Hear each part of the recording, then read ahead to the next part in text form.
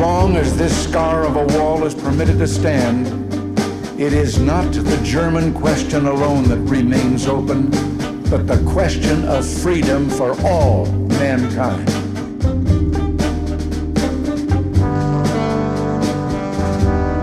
Yet, I do not come here to lament, for I find in Berlin a message of hope. Even in the shadow of this wall, a message of triumph.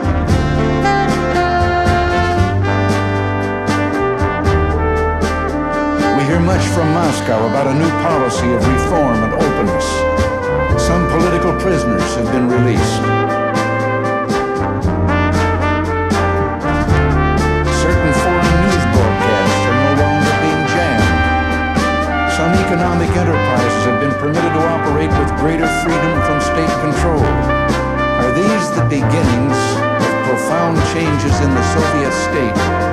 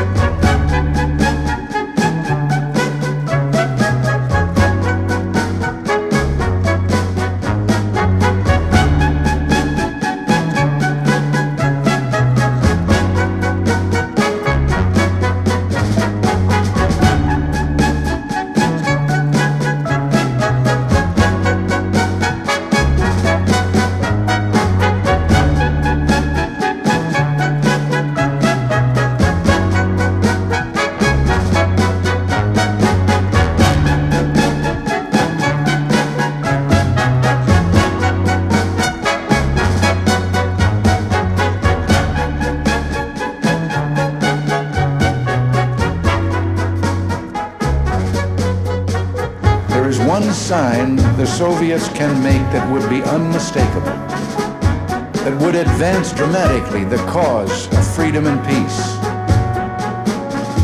General Secretary Gorbachev, if you seek peace, if you seek prosperity for the Soviet Union and Eastern Europe, if you seek liberalization, come here to this gate. Mr. Gorbachev, open this. Mr. Gorbachev, tear down this wall.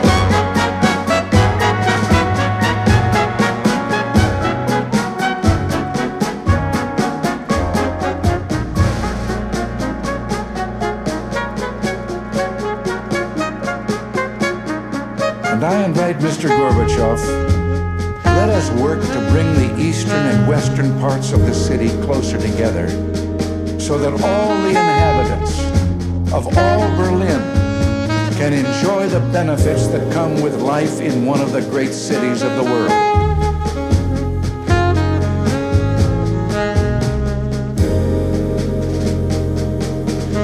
Across Europe this wall will fall, for it cannot withstand faith, it cannot withstand truth. The wall cannot withstand freedom.